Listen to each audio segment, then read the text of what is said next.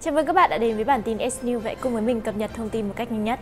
Mới đây, huấn luyện viên Park Hang-seo đã có những chia sẻ trong trận đấu tới đây của U22 Việt Nam với U22 Campuchia trong khuôn khổ của SEA Games 30, khiến cho rất nhiều người cảm thấy lo ngại. Huấn luyện viên Park Hang-seo đã có cuộc trao đổi riêng với các phóng viên Việt Nam. Tại đây, ông đã chia sẻ một vài thông tin mật của đội bóng. Ông nói rằng có 3 điều quan trọng trong trận bóng với Campuchia. Thứ nhất là chúng tôi đã hồi phục thể lực được bao nhiêu. Thứ hai là cầu thủ chấn thương đang được điều trị ra sao để đá trận ngày mai với U22 Campuchia. Thứ ba, bây giờ mọi chuyện rõ ràng rồi, chúng ta cạn thể lực rồi, phải đá bằng tinh thần thôi. U22 Việt Nam đã phải trải qua 5 trận đấu với mật độ trung bình là 2 ngày một trận. Vì vậy, sự hồi phục thể trạng của cầu thủ không thể đảm bảo tốt.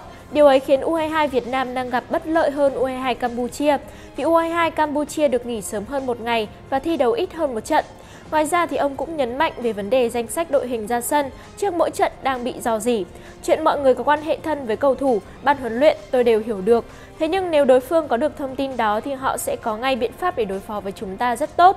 Điều đó đem lại bất lợi. Nếu tôi có đội hình của Campuchia, tôi sẽ lập tức xây dựng được đội hình để đối phó được. Hiện nay sau khi tôi họp xong, trên YouTube xuất hiện ngay danh sách đội hình và tôi thấy đúng hệt. Nếu người dân Việt Nam có biết thì tôi mong chúng ta nên hạn chế để đảm bảo thắng lợi vì thông tin đó là rất quan trọng. Mặc dù gặp bất lợi về mặt thể lực, nhưng mong rằng với tinh thần thép thì U22 Việt Nam vẫn sẽ giành chiến thắng trong trận đấu tới đây. Ngoài ra để có thể cập nhật những thông tin bổ ích mỗi ngày thì các bạn đừng quên subscribe cho S News.